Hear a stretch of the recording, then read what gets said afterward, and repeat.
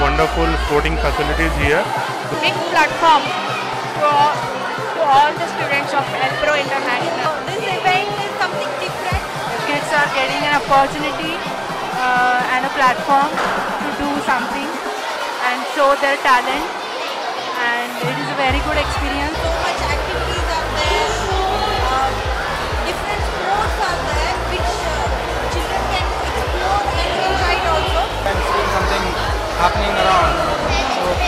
get motivated, kids get motivated. They are not playing the same game again and again.